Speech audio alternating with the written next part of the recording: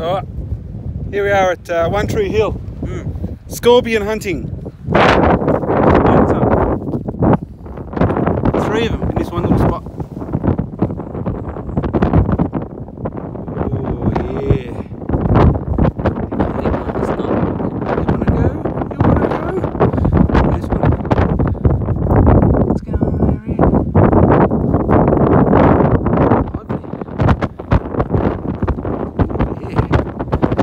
Oh, yeah. He wanted to go, he wants to fight.